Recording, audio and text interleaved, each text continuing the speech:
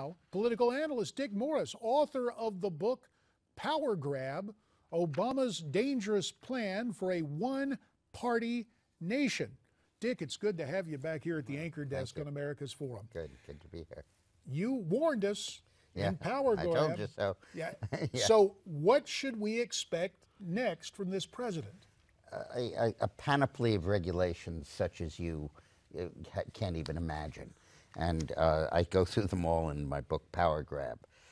I think he'll attempt to send the internet to an international authority, perhaps the United Nations, so that our enemies can control it, Russia and China.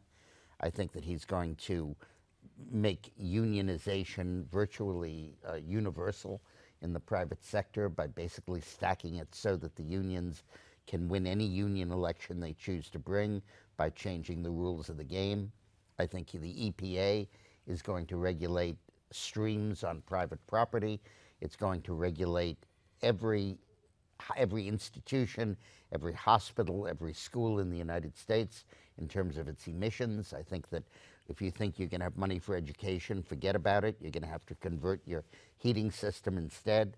Uh, I think that his whole approach in foreign policy will be to tilt directly in favor of our former adversaries who are still our adversaries. He just won't recognize it. I think that on health care reform, he's going to expand, going to change it as much as he has to to try to conform to the court decisions. And he's going to try, I think, to continue it even though uh, the courts may be against him. And on immigration, he's just going to complete the process he began. This isn't his last amnesty.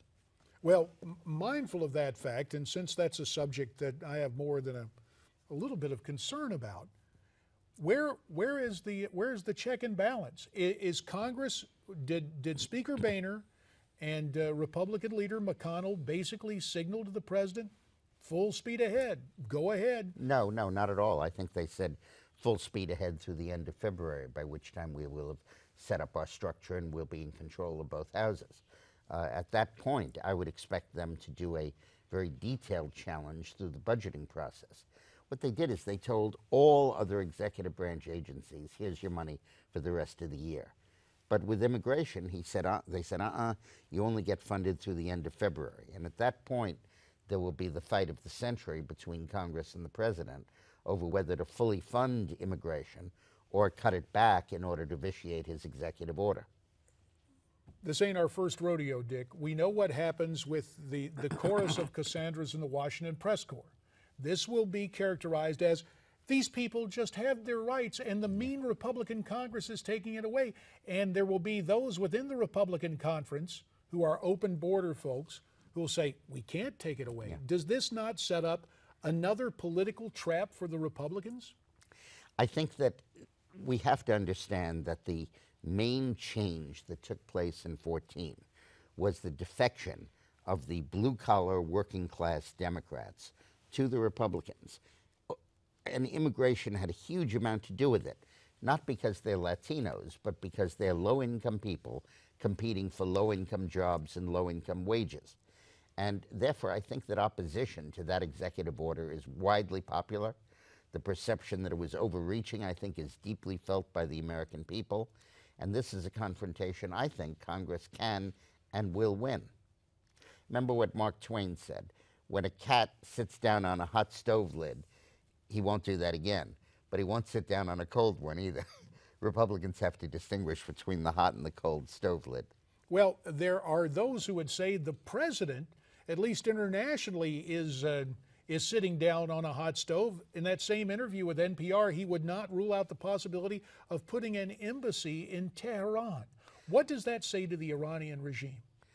Well, if he's that confident that they're not going to be transformed into hostages, why doesn't he send Michelle as the ambassador? Well, now there is All a thought. Dick Dick Morris making news, a groundbreaking role for the First Lady, right. Michelle Obama, so as the ambassador to Iran. I mean, that would not be a plum diplomatic assignment. You're essentially signing in for a year and a half of hostage taking. Look, Iran hasn't even said that it's going to be peaceful. Iran hasn't even said that it won't take the hostages.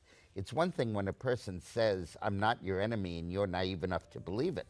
It's another when a person says, I hate you, I'm going to kill you, I'm never going to stop, and you're too stupid to hmm. listen to what he's saying. Hey, this kind of provocative comment you can find in this new best selling book, Power Grab. You can find out more visiting powergrab411.com to get your copy. More with Dick Morris coming up.